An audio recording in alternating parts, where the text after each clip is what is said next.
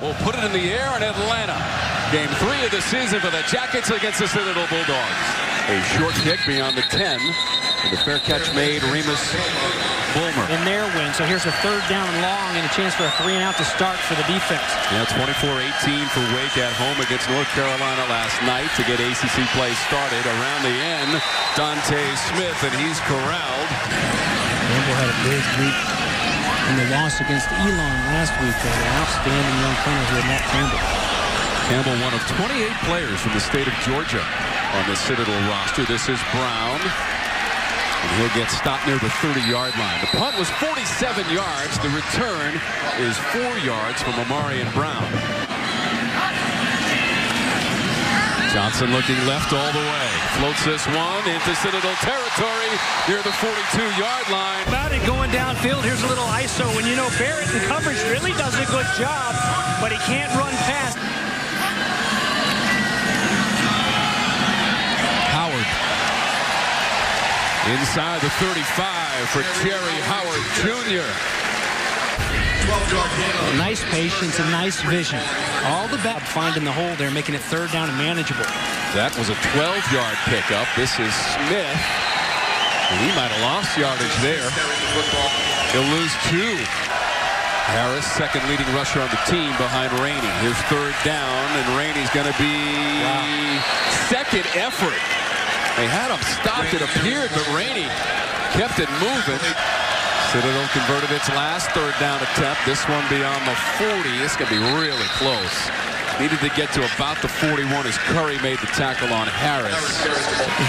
the energy doesn't stop with Geoff Collins, does it? It's a, he's got a lot of juice himself. The pitch.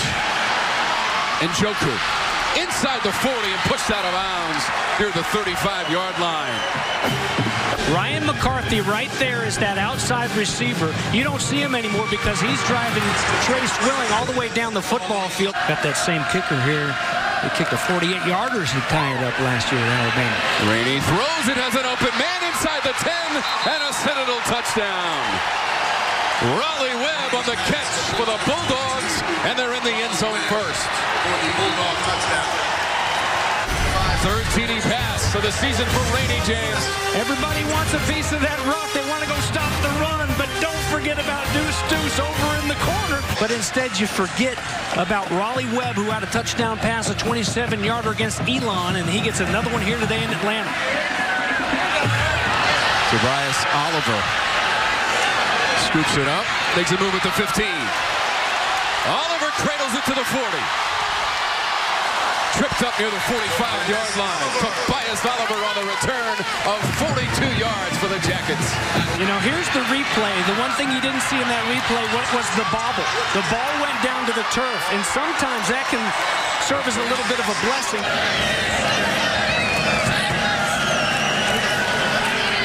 It's going to take off out of that pocket up to the 45-yard line. And based on the spot, that should be a first down. Barrett, the junior from Columbia, South Carolina, in that secondary. Johnson um, uncorks it deep inside the five. There were two defenders back there. And lucky, actually, on that last one, that it, it wasn't intercepted. Punt from Harvin. Botkin is back deep. Wants the fair catch at about the 12 and makes it successfully.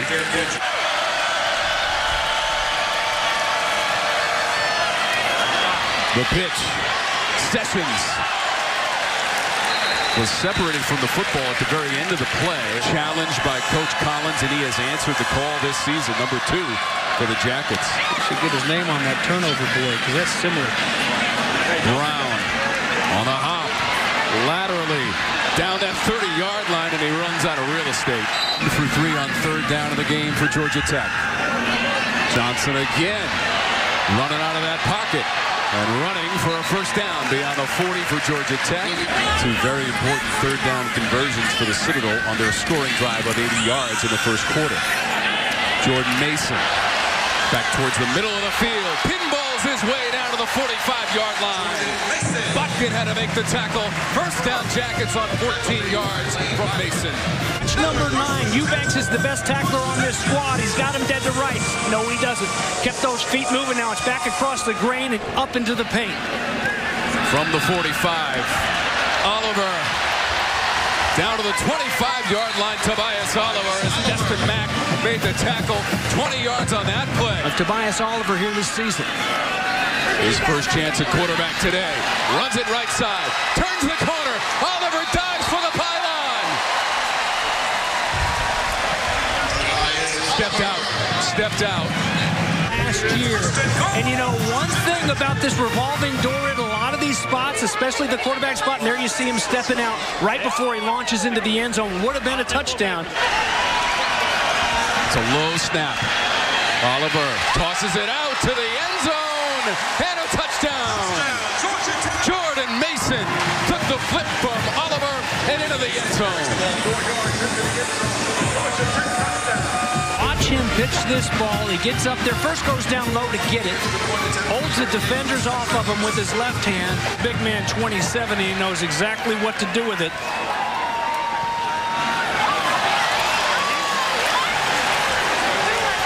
Extra point is no good.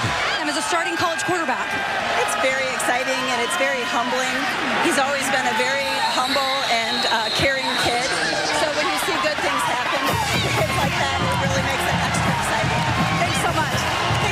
Down in six for Citadel. Rainey dancing around. Rainey hit at the 40 and knocked to the ground by David Curry. A loss of four on the play for the Bulldogs. There is a flag that comes out late. Flag on the play, and it's going to help him out. Look at the protection up front. Rainey had time, but the secondary of Georgia Tech gave him nowhere to go. Like conduct. Number 96 defense. His first of the game toward disqualification. 15-yard penalty and an automatic. First down. Remember, it was USF that helped out Georgia Tech last week in this area in the game. This is Rainey. Close to the first down marker. Sacks last week against South Florida and was the linebacker of the week of the ACC. Second and seven on the pitch. Bulmer toward the 20-yard line. You don't see it very often, but it's third and 31. Rainey the pass. It's intercepted at the 35. David Curry for the Yellow Jackets. To the 44. That's the third personal foul of the game. Here's Curry right here. Reads it the whole way. There's no real play fake, so he's dropping right into coverage. And a nice job to go up and, and get that football. Johnson got away from the initial pressure, but can't get past the 25-yard line and goes down. Fourth down. ACC fans know the name Grantham. It's Tony Grantham, though. No, not Todd that used to be up there at Louisville. And Tony Grantham drawing it up to Tech and a chance to get the ball back here with 5.45 left in the first half. Harvin punts to Lane Botkin from the 32-yard line. Botkin kept his balance for a moment and stopped at the 33. Biggest requirement to earn the right to wear his number. Junior Chris Martin was Brander, Brandon's best friend, wore the number 90 for the season opener against Clemson, and then Tyler Cooksey wore it last weekend. With a third down and one, if they can convert. Rainey behind his blockers, another second effort, and it appears that Rainey has enough near that 41-yard line. Again, 30 rushes in the game for the Citadel. Here's number 31 on the pitch, first down, and Joku near the 22-yard line. Again, Ryan McCarthy. He's going to be outside here, right there, blocking his guy, and it does a great job. Keep this alive with two-yard gain here. 0 for 1 in the red zone of the game. Rainey runs it. First down, 12-yard line, three yards, Brandon Rainey. From the 12-yard line of Georgia Tech. Rainey the pitch. Dante Smith at the goal line and in for the score. Dante Smith for the Bulldogs. Touchdown, Citadel, 13-6. Extra point pending. Give him a two, Previous play of a touchdown is under further review.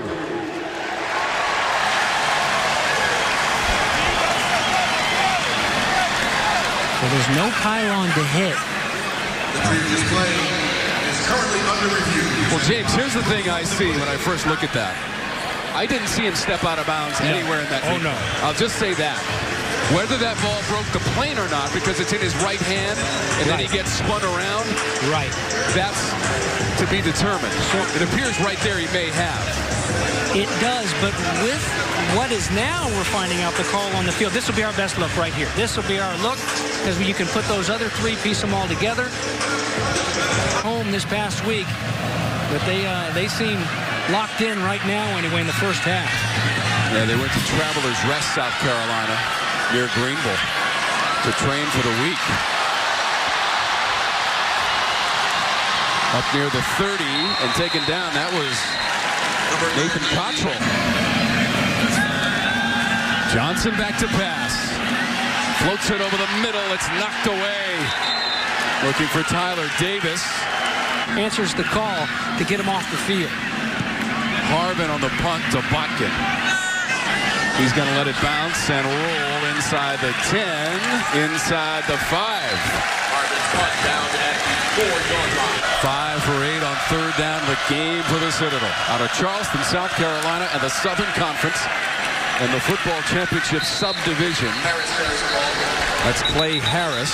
To do more of the same here. Nice field position to start, that's for sure. Lucas Johnson going deep towards the end zone, adjusting to the football and making the catch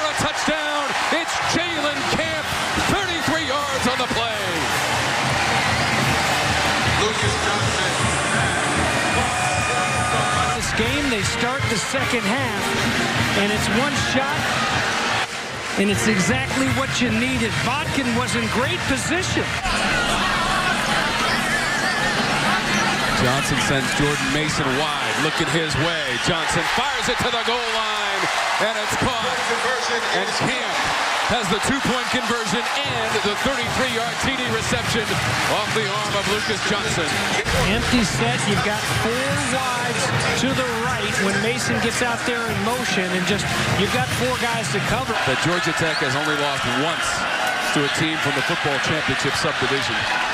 And that was against Furman back in 1983 as Clay Harris hops over the 40 and moves the stick. Boy, look at the surge. A lot of times you talk about the penetration on the defensive side, disrupted. Well, and, then they got their heads up right after that touchdown to tie it. How about this, Lindsey? Another first down. So here comes Georgia Tech. Excited they are. How about that South Carolina win? You know, there's a lot of South Carolina kids there, too, a couple years ago. That must have been huge. Pitch out to Smith. That's enough for a first down. Tackle for the Jackets. So it's working inside, so now I'm going to cheat inside a little bit. And now I'm going to outside. Trying to get off the field here, or at least force a fourth down and short. Rainey close to it. And Rainey down inside the 22-yard line for a first down. Come around and see what kind of leader he is off of the field. That you hear all the stories, but you certainly see it in action here today on the field as a player. Rainey, some space to the goal line, and a touchdown on the ground from Brandon Rainey. 22 yards and a Citadel TD. The shirt that his mama had on when Lindsay talked to her earlier. She had that great big smile on her face then. Oliver provided a serious spark in the second quarter when Georgia Tech went for a score, and there goes Oliver second level. Tobias Oliver. Into Citadel territory, and Reed is forced to make the tackle again. Two games of the season when you turn on the tape and you see guys that, that, that have, have some electricity to them, that are game changers. And dial something up here in the third quarter and respond to the touchdown by the Citadel to take a seven-point lead. And right now, James, the answer is number eight in Tech Gold. Got four there. Just two for six on third down. Mason working his way. Based on the spot, it's at about the 24. He might be a little bit short after the five-yard gain. Mason wants it. Diving. Mason the ball. Got to get to that 23-yard line. And they need five yards here. They're going to get it and more. Past the 40. Remus Bulmer, head of steam. First down after a 12-yard gain. taking the punch to the guys in the gold jerseys. Look at all the hats on hats. And that's guy Johnny Kerr. Rainey flag is out. It looked like a face mask. It, will be it'll be another 15-yard penalty. Taking care of the starter over there on the sidelines, Brandon Rainey.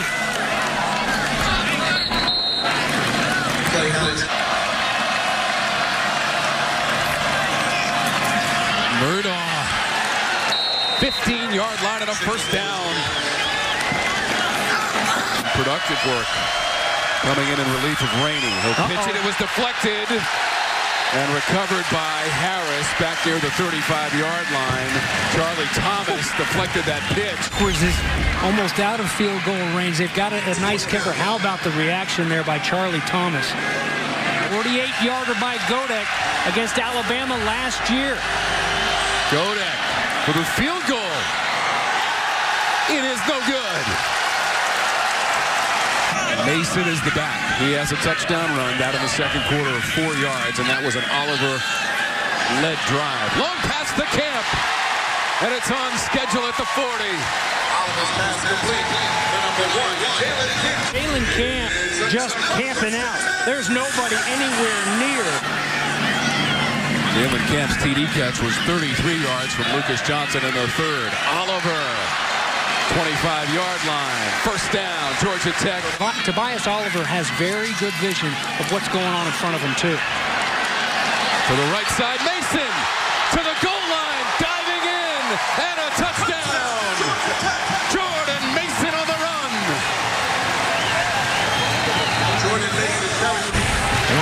it's, it's nice to share that rock with a lot of people on this offensive side of the ball. But those two guys, the one-two bunch of Tobias Oliver and Jordan Mason, they can take over a football game with just the athleticism and, and, the speed like that, and not to mention blocking down the field. Jalen Camp, who had the catch to start this drive.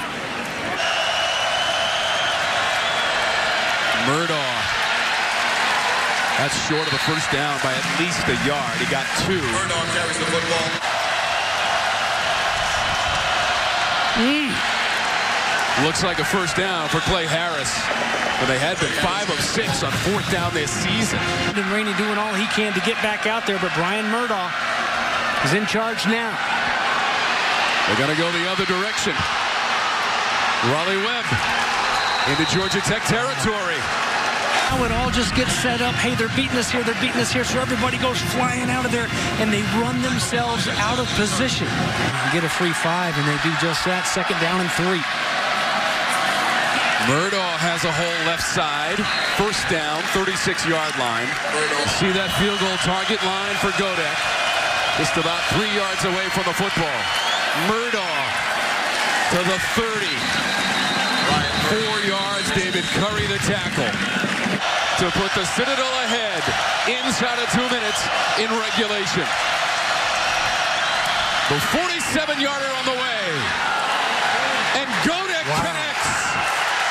47-yard field goal by Godek is good. Student with the snap, puts it right down, and making sure he didn't miss to the right this time. it was just as much inside that left post this time as it was outside on that first try. Look at Brent Thompson. Citadel's going to have to find a way to stiffen. Oliver and Cottrell with Eatman. Oliver a step deep, and here he comes. Oliver 30-yard line. Oliver cut it to 40. And up near midfield, Tobias Oliver. Flexibility is a, a, phrase that you hear around here quite a bit. Guys playing offense and defense, multiple positions. Here's your quarterback. Here's the guy that you're going to lean on to help go win this football game. Oliver's got a TD pass to his credit today to Jalen Camp. Wants to fire, looking for Camp. Sliding grab inside the 40. Jackets quickly over that ball. Citadel having a tough time getting lined up. Johnson dumps it off. It's complete to Mason. First down and more. Mason near the 30-yard line.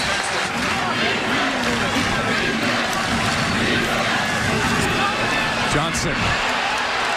He's taken down at the 40. 76 is Dewey Green.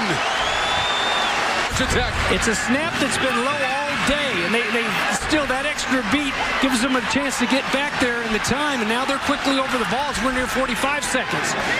Over the middle. It's complete near the 30-yard line. Third and 12. They'll pitch it off. This is Mason. That's down to the 12-yard line. Jordan Mason. Jordan Mason for the Yellow Jackets. First and 10. Nice job over the football. They look sharp and able to get the snap off, it looked like. Flag on the play. Just get a penalty here of five yards. Friday snap. Snap infraction, number 55 offense. This foul occurred with under one minute to play in the second half of the game clock running. By rule, includes a 10-second runoff. Clock operator, please set the clock to 13, 13 seconds. Start it on the ready for play. 34 yards away for Brenton King to tie this game. It is good. Not by much, but good. Well, Brenton King, nice snap, nice hold by Lucas Johnson, the quarterback. Just inside that right upright.